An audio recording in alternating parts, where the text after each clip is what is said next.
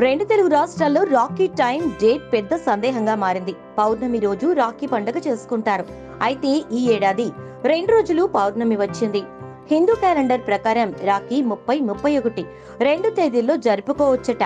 అయితే ఏ గడియల్లో రాఖీ కట్టాలి అంటే ముప్పైన పౌర్ణమి గడియలు ఉన్నప్పటికీ రాత్రి తొమ్మిది గంటల ఒక్క నిమిషం వరకు భద్రకాలం ఉందని ఈ సమయంలో రాఖీని అస్సలు కట్టకూడదని పండితులు చెప్తున్నారు. అందుకే ముప్పైన రాత్రి తొమ్మిది గంటల రెండు నిమిషాల నుంచి ముప్పై ఒకటవ తేదీ ఉదయం ఏడు గంటల ఐదు నిమిషాల వరకు సోదరులకు రాఖీ కట్టొచ్చని చెప్తున్నారు ఈ సమయంలో రాఖీ కడితేనే సోదరులకు మేలు జరుగుతుందట.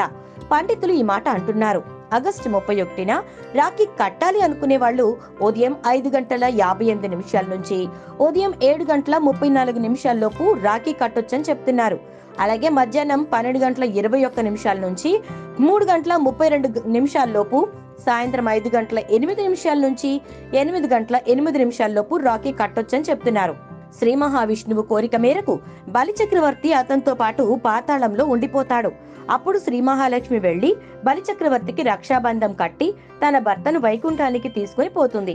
ఇంకో కథనం ప్రకారం శిశుపాలుడిని శిక్షించే క్రమంలో సుదర్శన చక్రాన్ని ప్రయోగించిన కృష్ణుని చూపుడు వేలుకు రక్తం ధారగా కారుతున్నప్పుడు ద్రౌపది తన చీర కొంగు చింపి వేలికి చుట్టింది.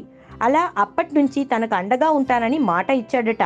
ఈ రెండు కథలు సోదర సోదరీమణుల మధ్య అనుబంధాన్ని చూపిస్తాయి.